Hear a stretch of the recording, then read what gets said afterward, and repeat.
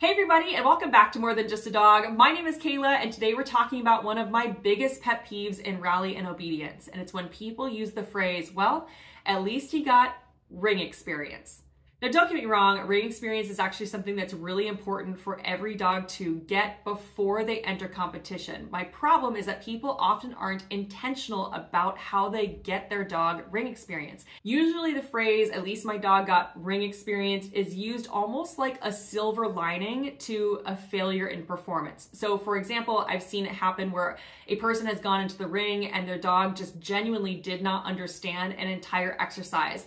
And they come out of the ring and they say it's something something like, well, I knew my dog wasn't going to qualify today, or I knew my dog was going to fail, but at least he got ring experience. I don't understand that frame of mind. I don't understand why you would put your dog in a situation that would set them up to fail.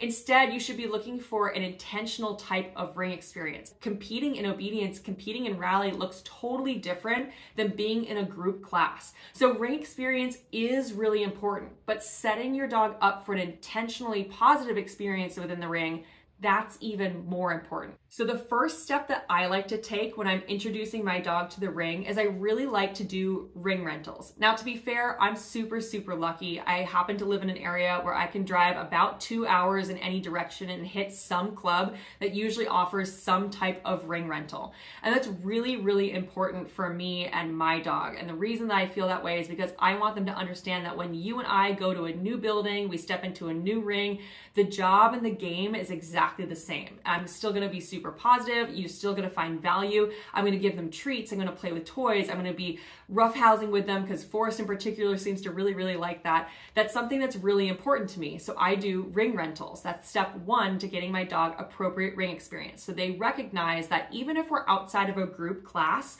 all the things that they've learned in those group classes, they're applying here in a solo environment. Step two is to seek out something called fun matches, which Forest just had his very first fun match just the other day. And I was super, super proud of him. But here's the thing about fun matches that you have to remember as the handler and trainer is that it's a fun match. There's no titles on the line, there's no scores that are given. It's just going out and having fun with your dog but it feels like a competition like setting.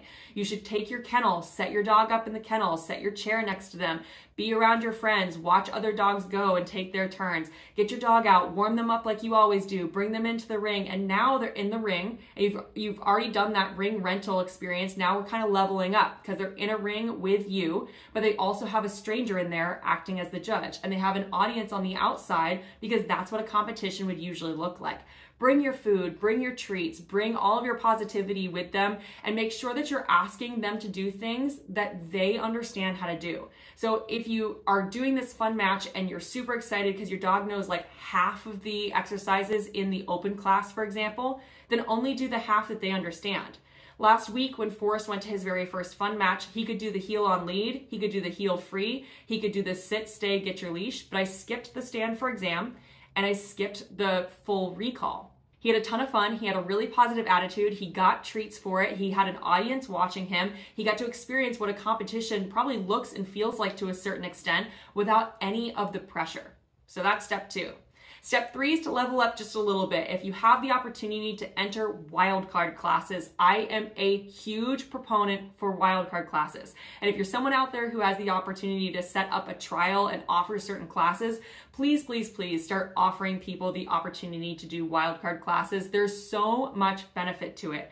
In fact, one of the things I started doing with Maya years ago is I would enter her in wildcard classes, and to this day, I still sometimes do this, where I'll enter her into a wildcard class and I'll just do the first or second, sometimes the third exercise in a class, and then I'll just tell the judge, thank you so much, we're done for the day, and I'll exit the ring.